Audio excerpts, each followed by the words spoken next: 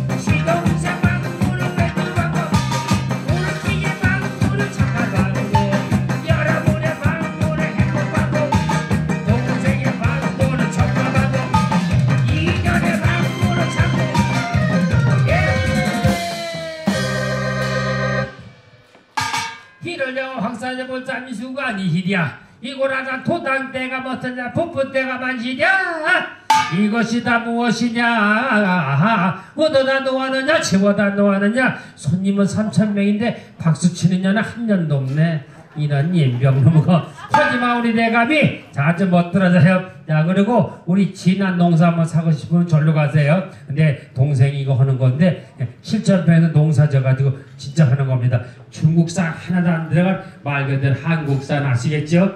건강심 최고입니다. 네. 돈 많은도 소용없고 다 소용없어. 새끼들이고 지랄이고 개조지나 소용없어. 건강이 최고야.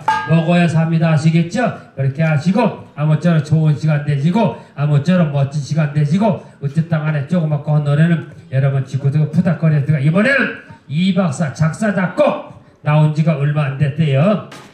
나, 나온 지가 열흘밖에 안 됐는데 1번 소리 땡긴다. 네, 요건 내가 만들었거든요. 노래한 지가 내가 40년 됐는데 노래는 19살 때부터 했습니다. 예, 노래 많이 그런 많이 이제 했다는 것보다 세월이 흘렀으니까 이 박사 작사 작곡 소리 땡긴다 작사 작곡 그 다음에 이제 코로나 시작되기 전에 또 노래 만든 노래가 있어요. 야야야 네, 몇곡 보내드릴게 아시겠습니까? 그 다음에 내는 이제 기본적은 예, 이제 배배이곡도 한번 하고 해신곡도 하고 아시겠지? 대감놀이도 하고 창고타령도 청춘가도 하고 그거 내일 얘기로 하고 자 소리 땡긴다 갑시다. 에 이 박사 작사 작곡 박수!